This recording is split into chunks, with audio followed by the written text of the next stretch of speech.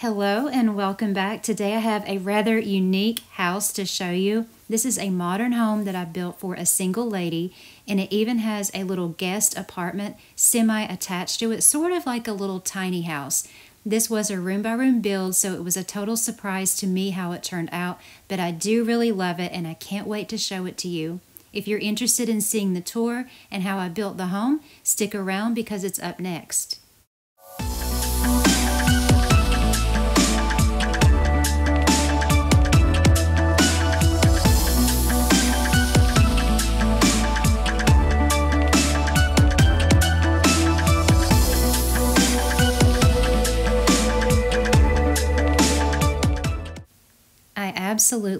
Love this house.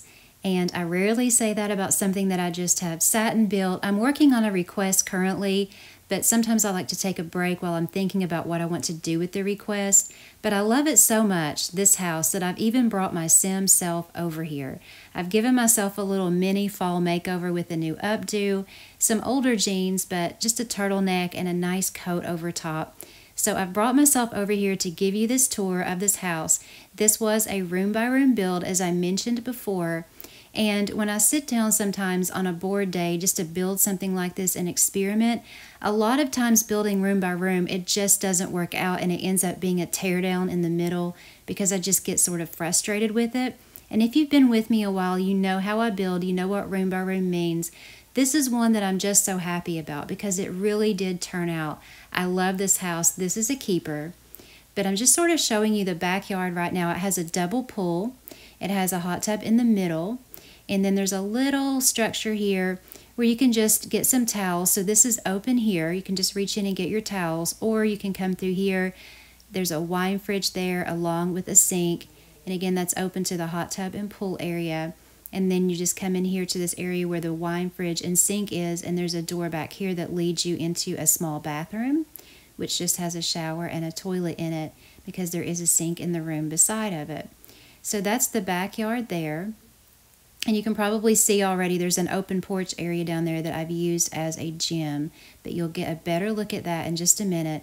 But this is the patio out here a nice place to lounge and we'll continue around the house so you can sort of see the outside. Of course, I'm sure you can see the skylight there on the top that looks way down into that master bedroom. Can't wait to show you that. So this is the front here again. Very simple out here. I've made sort of a covered porch area and a double entryway right here. And then next door to that is the garage door. So I've used those little archways and put balcony over top of it. And then you'll see the entrance there to that little guest apartment, which we'll also take a look at. And then there's a staircase there. And there's a reason for that as well. So this is sort of, like I said, it's a little bit different than what I normally do. But there's also a lot of balconies here, which mainly I used as roof. So there's the staircase there. So we're going to go in the front and we're going to come first into a living room. So this living area is separated from the rest of the house in a way, but you do just step out and around to the staircase to go up to the rest of the house. I love this living room. I love those doors. I know they're supposed to be kitchen doors, but it's The Sims and you can pretend. And I think they look beautiful in here with the black frame and that new black wallpaper that I did purchase online. So there's not too much going on in this room, and that's pretty typical of me. I like to pick a few really nice items, whether they're old or new, and make a color scheme while I'm making the room. This is the first room that I made on the build. So I completely made this room first and decorated it and I chose this color scheme for the room. Now, when I do that, that does not necessarily mean that's going to be the color scheme for the rest of the house. And honestly, at that point, I had not made up my mind about a color scheme for the house. I designed the room and then I came back here and wrapped this patio around to it and stopped right there. Even though I wasn't sure what was going to be there yet, I knew I wanted a patio out back and I figured if nothing else, I could just reshape it as I went along. So that's the living area there. Next door to that is the garage.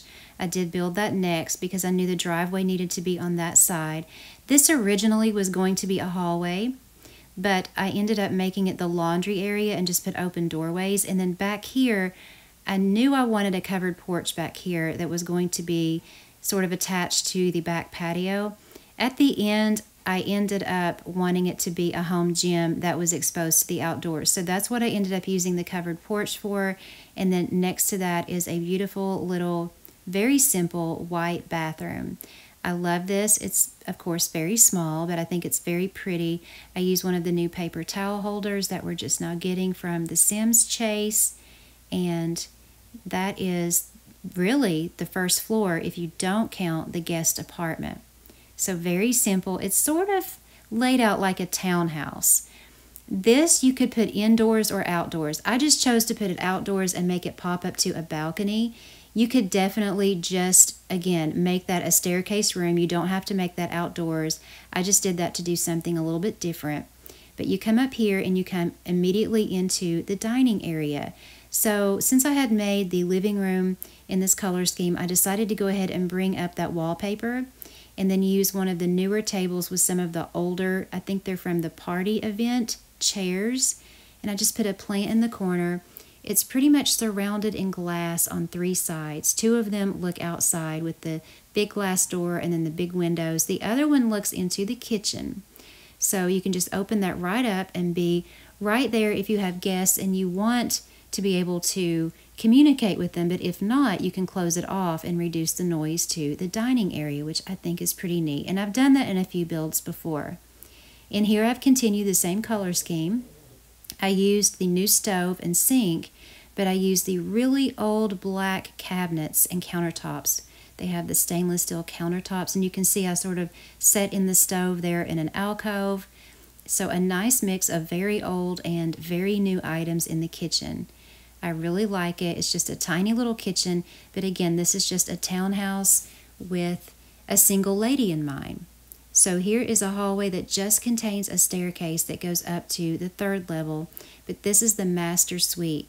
You know that wallpaper is growing on me. I've used it a few times recently, so I've used it on opposing accent walls for the master, and that made me want to use this bedroom suite. So just the black and gold and then the black and gold dressers and end tables. And then I like this black and gold nursery chair with that set and I've often used that. And then we have the black and gold TV in the corner.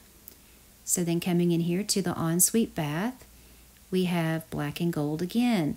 That looks really nice. I really like how that chalet sink looks with that behind it, that wallpaper as well as this tub. I know that's rose gold and regular gold mixed, but I don't know if you noticed throughout the house I have mixed a lot of different metallic colors. So in here is the toilet room and the shower room, just two little separate rooms. But again, with those mixing metals, I really like doing that on some builds, especially modern ones. And here's just a little walk-in closet. Because if you have regular gold, rose gold, and silver, don't be afraid to mix those. A lot of people think you shouldn't do that, but just be creative. You can mix all sorts of different metallic colors together and have them come out really nicely. So that was the master suite. We're going to pop up here. This is a little weird. So you see this is open above the master suite here, and there's some paintings up there, and you see the windows, and I'll show you what room is back there in just a minute. I actually had this as a room all the way to almost the end of the build because remember I build room by room. But I decided to take the room out at the last second and make it open. So this actually had four sets of doors. I had two more sets on the other side that went into the other room, but when I decided to open it up, I thought this looked so much better, so I popped a window in there instead. And there's a door here that goes into an office. So you have that view into the master bedroom because remember, it's just her who lives here. She also has a view to the backyard with the pools and the hot tub. Just a simple office here, just a desk, one of the newer lamps, a plant in the corner, and again, you can see down into that master bedroom. She has a TV and some bookshelves in there. So, just her office. I think that looks really pretty, and that is really all there is to the third floor. So, the rest of it is technically balcony, but you've seen me do it several times. I like to just use that as roofing, sort of like a flat roof. And then we're going to be popping up next to the fourth floor so that I can show you how I made the skylight. I was just going to leave this flat, But I decided to add this in, and I'm really glad that I did. I think it looks beautiful, and it just gives the home the look that it has all these different levels that it really technically doesn't have. It's just aesthetically pleasing from the outside. So let's go on down. We're just hopping down the levels here and we're going to take a look at this guest apartment. So it's semi-detached from the house, as you can see, and you enter it by going through the door that's by the exterior staircase. This guest apartment does not have a bedroom in it. You would have to imagine this couch was maybe a futon, you know, a couch that lets out into a bed. So this serves as the little tiny bedroom and living room area. It's very small. Like I said before, it's like a little tiny house. So it has the TV, some cabinets there for storage, and just a little bit of decor and a place to sleep. And you come through this doorway here into the little kitchen. I think this kitchen is so cute. It really is functional. It has everything that they need. It has the coffee maker, has a fridge, a stove, a microwave, and you could even add something there under that cabinet as well. So that's the kitchen, and then you come through the other doorway here and you come into the little bathroom. It's a fully functioning three piece bath.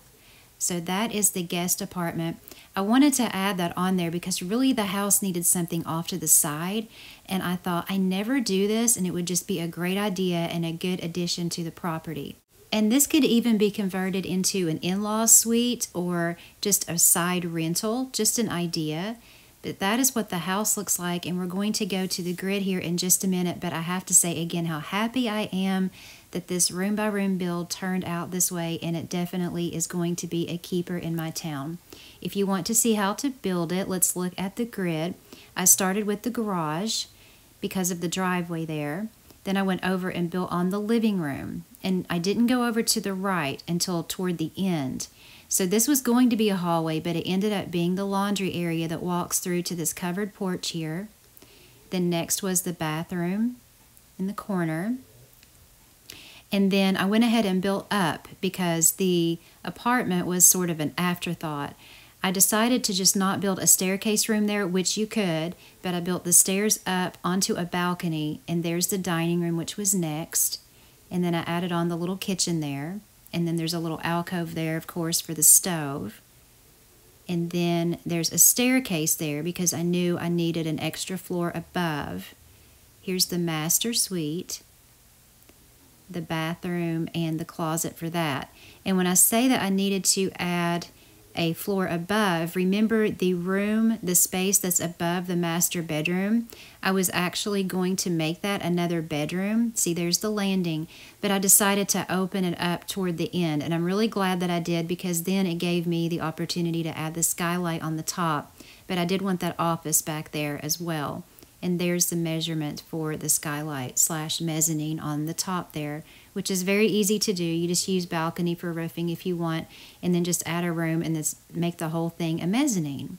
So that's how I built the house. Now we're going to come over and take a look at this little apartment here. There's the living slash bedroom, the kitchen, and the little bathroom for that. So that is how I built it. Here is a starting point right here from the left. You start over 2 and up 10 in case you want to recreate it. If you want to start from the right, you go over 0 and up 8. So let's take a look at the furniture. There's the garage, just normal garage things. That's how I put the little laundry area in what was going to be a hallway. There's the covered porch, which I'm using as a home gym. There's the little bathroom.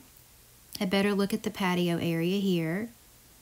And then there's the living area right there. And then we come over here since we are on this level here and we will look at the guest apartment. Since I already showed you the grid in order, we'll just go ahead and take a look at the furniture on this level. So that's the guest apartment. You come up to the dining area next. Just give you a little overview here. So you just pop up the stairs and we're going to look at the dining room. You can see how I just wrapped the balcony around. And then there's the kitchen. Very cute. And the little stove area where I tucked the stove in. And there's that staircase there. And here is the master bedroom. in black and gold. And it's ensuite bath and the little toilet and shower rooms there. And then it has a nice walk-in closet on the other side.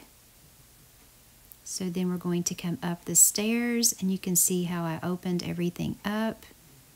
Use those big doors there on the right side that walk out to the balcony or over to the doorway that goes up to that office.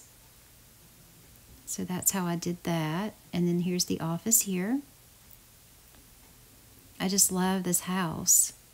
And then, of course, that's open completely to the master bedroom below. And then there's the skylight, which is just a little bit smaller than that room. Now we're going to look at the pool house here. It's just a little tiny, you know, area where you can get drinks, grab your towels, and use the restroom if you need to, and you're outside. So that was the measurements for that. And there you go. So let's take a look at it in night mode so you can see how pretty it looks all lit up at night. I know it looks a little bit complicated, and I hope from the grid you decide that it's not and you want to recreate the house. But I tried to keep the decor very simple. The backyard is a little more than I usually do, but I really do like it. I like the pools and the hot tub in the middle. I like the little pool house out back that I just think it looks so pretty lit up at night. And this house could definitely be converted into a family home very easily. You wouldn't even have to make it modern. You wouldn't have to use all the balcony roofing.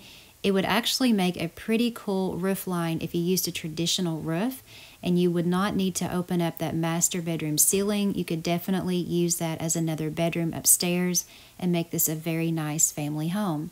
So I hope you've enjoyed the tour. If you have, please hit that like button. I sure do appreciate it. You guys take care. Thank you so much for watching, and I will see you next time.